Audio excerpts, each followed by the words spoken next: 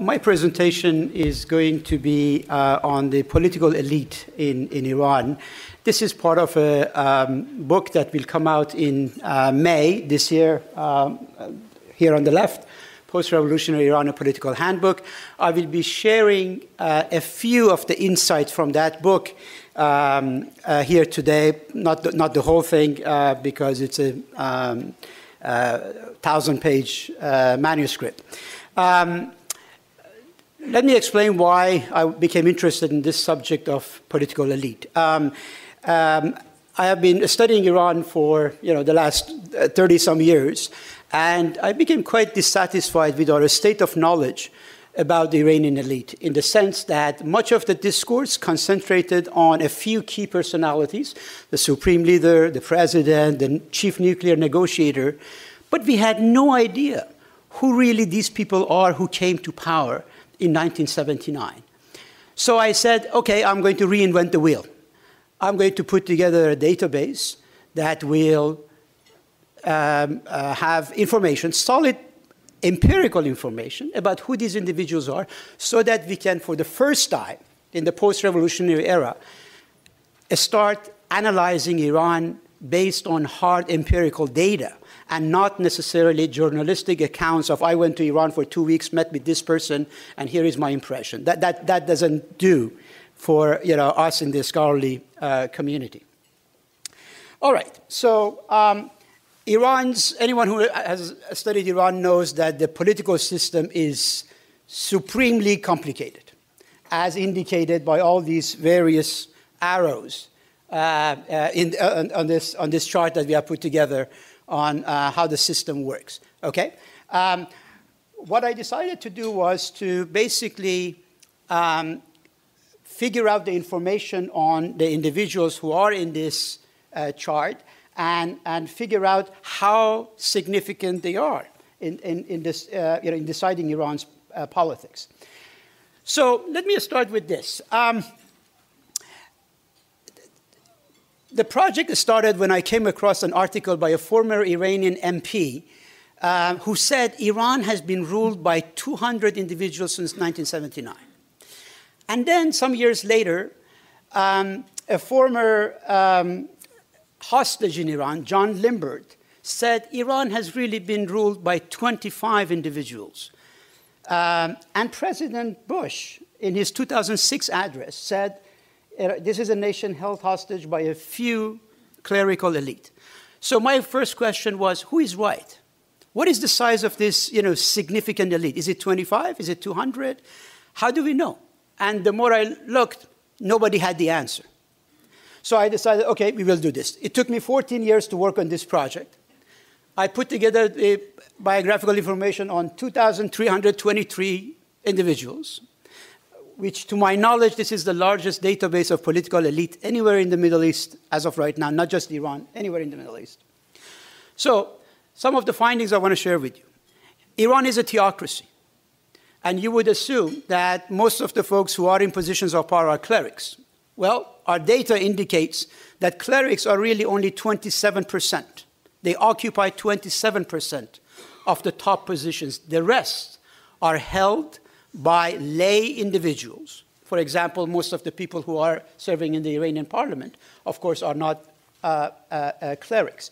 But you know, you have the data here in terms of who is included in this database, right? Anybody in parliament, anybody in cabinet, anybody in assembly of experts, et cetera, et cetera, heads of the military establishment, um, guardian council, uh, assembly of experts, etc. So what we did was to study positional elite, not necessarily reputational, right? So we were not interested in people's reputation, but whether they were holding important political positions. The book also has all sorts of other data, including data on 36 national elections, uh, data on 400 political parties, etc. But I don't have time to go to any of, uh, any of those here. So the questions that were guiding me in this study were things as, as, as this, right? Who are the members of the elite? Let me say this. Of the 2,323 individuals in my study, only two had served in the parliament in the pre revolutionary period. Therefore, you can say almost 100% of these folks are brand new, right? And it begs the question okay, what is their background? What is their ethnicity? What is the gender makeup of the elite? What are the staging grounds, right, that these individuals use to occupy higher positions of power? You know, what is the uh, share of Tehran among the elite as, as, as the capital? Okay, so let me start here uh, by the first parliament. One of the arguments that I'm going to make is that most of these elites, having looked at their background, we can say that they are predominantly the children of clergymen, farmers and small landowners, and bazaar tradesmen in particular. If you add up the first three numbers here, right, you will see that amounts to 66%. And if you add laborers, that's already 72% of members of parliament who come from those modest backgrounds. Of course, we have 22% here unknown. And if you add some of those as well, you can easily get to over 80% who come from this modest background. So when we say it was a revolution, bringing about a really different class of people, we are not kidding. Notice how the more modern, um, sorry, the more modern uh, positions, civil servants, professionals, etc., are in single digits compared to the other ones. Okay, moving on. I was curious to know what is the age composition of these individuals. And again, some interesting findings here. You know, in the earliest stage of the revolution, with the um, interim administration of Prime Minister Bazargan, you can see that you had a median age of around 52 for, for these individuals, right? And then, as 29 year olds entered cabinet, you see this drop in the median age, right? And over here, on the, on the extreme right column, you see the median age of these individuals in 1979. So, for example, at that time, the cabinet was made up of, again, 52 year olds, right? The administration of present president, Mr. Rouhani, at that time, they were a bunch of 20 year olds. Okay? So you can see this, this evolution, which of course makes sense because we are 39s past the, the revolution. When we go to the next slide, again, the same thing in terms of age composition for the Guardian Council on the left and for the members of the Assembly of Experts on the, on the right hand side. Again, you see the gradual graying of the population, which is again quite understandable because in, in these type of institutions where incumbency level is very high, it's the same individuals who are simply just getting older, right? And therefore their average age has gone up uh, naturally as, as one would, would ex expect. Okay, one of the ways that you could really enhance your resume in a revolutionary state is whether you had served prison time before the revolution. So we were interested in seeing what percentage of these individuals had served prison terms. Okay, so take a look on the uh, um, on the left. Okay, you will see in the earliest stage members of the Assembly of um, Experts. Forty-three percent of them had served prison terms. Now that has, number has dropped to 23%. On this side as well, 26% of members of parliament in the first parliament were, had had prison terms, whereas nowadays, hardly anyone, okay, has served in prison. Of course, because they, were, they are too young compared to, uh, to, you know, to have served substantial time in prison before, before the revolution. Same for cabinet members. Notice, for example, the numbers for the first two 45 and 48 percent. And now you get to Mr. Rouhani as, as 3% or 2% for Mr. Ahmadinejad, etc. So again, a generational change is beginning to happen in terms of the background of this individual, whether in terms of age, prison experience, and, and the like. Okay, the next question I was interested in was that considering Iran has 31 provinces, what is the makeup? Where are these elites coming from? You know, what is the share of Tehran as the center of gravity in the country compared to the other provinces. And what do we find? Some fascinating stuff. These first five provinces, Tehran, uh, Esfahan, Fars, Khorasan Razavi, and East Azerbaijan, are much more important in terms of being the birthplace of the elite than any of the other provinces. When you get to this side, to the right side of the uh, chart, you will see some of the most underdeveloped provinces, and again, this is a terminology that the Iranian government uses, uh, some of the more underdeveloped provinces, such as Mahal Bakhtiari, Kohgiluyeh, Boyer Ahmad, Hormozgan, etc., have hardly produced members of the elite, which is again understandable. Please note that this is not normalized in terms of population. This is just the number of people who have been you know, born in each of these uh, provinces. I will come back to this in a, in a minute. Okay, here is one of the most disturbing findings from the research. Of course, women constitute 50% of the population, but what percentage of the elites of women? A mere 3.2%. A mere 3.2%. Of course, no woman has served in the Expediency Council, no one in the Guardian Council over the last 40 years. We have one individual who served in the assembly that approved the Constitution. Um, we have had one female minister, who, by the way, President Ahmadinejad appointed and then dismissed. And the rest of them mainly have been members of parliament, right? So where women have been able to get positions, it has been as members of, of parliament. And again, in my book, I go into detail about you know, who these individuals are, etc. But the other one is also quite interesting. If you look at the last line, 20% have been female vice presidents. And you would wonder, why would women be, have such a high, high rate of vice presidents compared to their other numbers, right?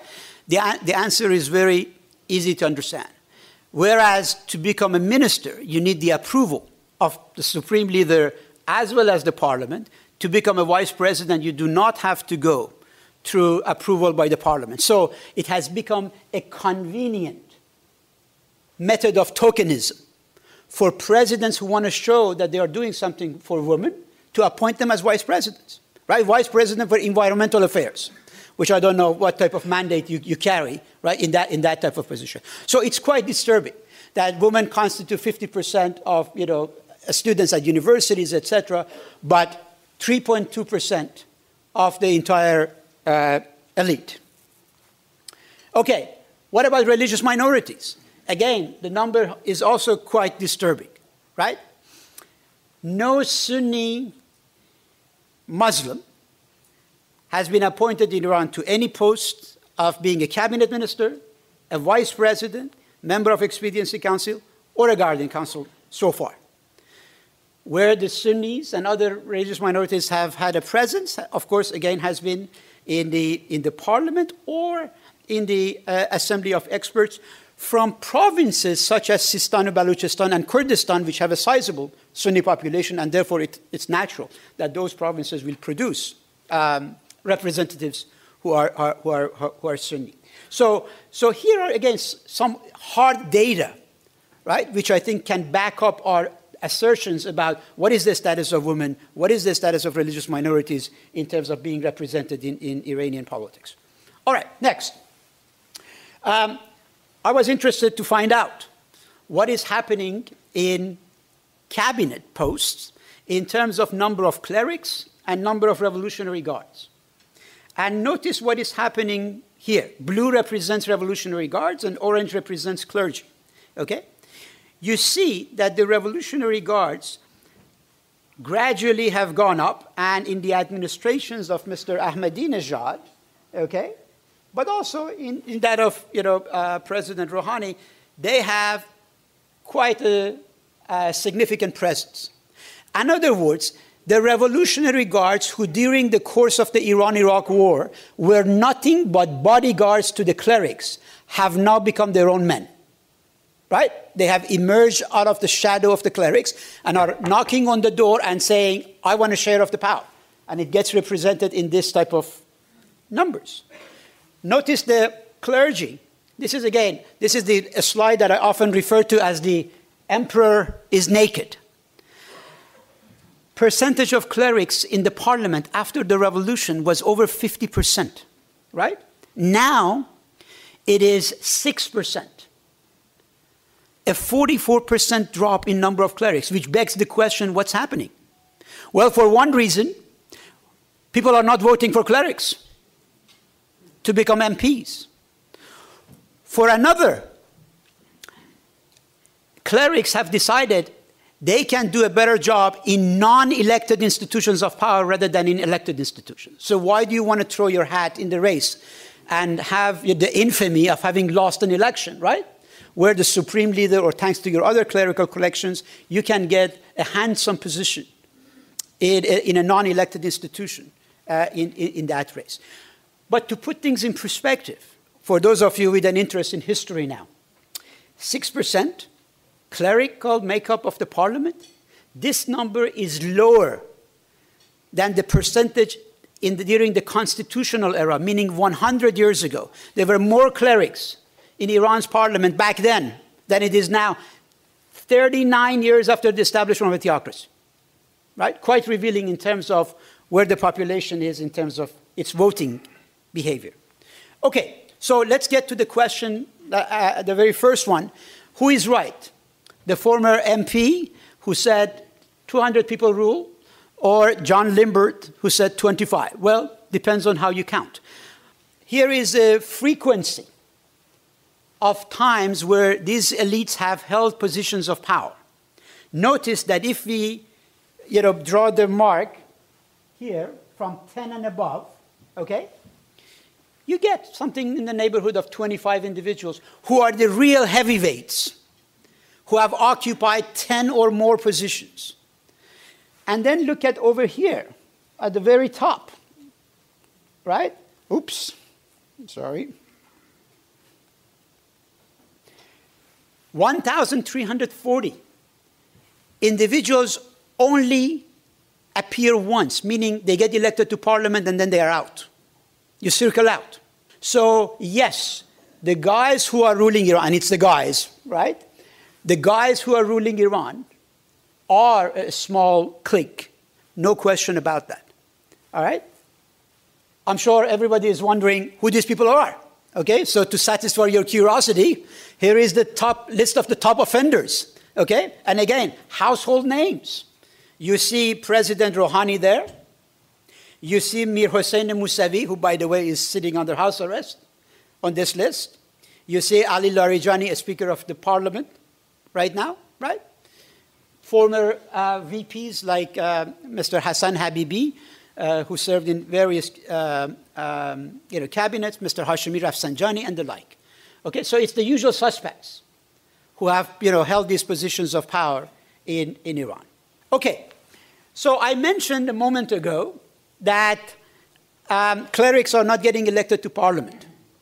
So please, if you were to think of Iranian political uh, structure as a pyramid, here is what I want to propose based on my research. And you can see the numbers to back that claim here. Change happens at the bottom of the political pyramid in Iran, meaning at the level of parliament where the people can kick out the rascals, right? The, the higher you go up in the pyramid, the less changes you see. So notice here, unelected, unelected institutions of power such as, for example, the Expediency Council, has an incumbency rate of 78%. Parliament, on the other hand, has what? 33%. Okay? Guardian Council, another unelected body, 73%, whereas the elected body, Assembly of uh, Experts, 52%. Okay? So incumbency varies, and again, here is a visual of that. Okay? to see what, what happens. It's fascinating when you look at the continuities and discontinuities. For example, take a look here. Right? This is members of uh, cabinet. You wonder, what, what the hell is going on here? Well, the answer is this. When Ahmadinejad came to power, he said, I don't want anybody who had served in previous cabinets, right? So that's why the incumbency rate drops so much. And of course, when Mr. Rouhani comes to power, he says, I don't want any of his guys. Oops, okay. So he drops there, and that's why you see the fluctuations in terms of the incumbency rate. Okay, I mentioned the uh, provinces. Uh, and again, this is a subject that I'm really quite, quite interested in because I wanted to see whether the revolution really opened up channels for participation by people from the provinces. Okay? And more importantly, does the change come, does it you know, depend on whether you come from provincial capitals or not? So here on the first part, you see that again, those top provinces are well represented in terms of producing members of the Assembly of Experts. And on the right hand side, you see how many of them comes from provincial capitals. So the percentage varies. So Mashhad, for example, right? You have to be part of the, the seminary in Mashhad to be able to have your you know, credentials stamped to get positions of, of power. But you know, in some of the other ones, like Isfahan, that's not necessarily the case. Or if you go on this one again, for cabinet members, you see Tehran still accounts for a good percentage, 27% there, followed by Isfahan. Isfahan is the second most important province in Iran after Tehran in terms of producing elites. Okay? When it comes to clerical members, Isfahan even outperforms Tehran in terms of producing elites. So it's very important to look at this thing for those of us interested in the politics of ethnicity in Iran, right? For example, how are the Azerbaijanis? Represented in Iranian politics. Now you have, you know, hard numbers on what's happening, for example, with East Azerbaijan, West Azerbaijan, etc., etc. But if I, if I give you the numbers, as you can see here, right, for those deprived provinces, notice, for example, Bushehr, Ilam, Kohgiluyeh, zero, right, zero, okay? So in short, I, have run out of time, so I will, I will stop here, uh, but I will be happy to um, ascertain questions later on about other aspects of this study. Thank you.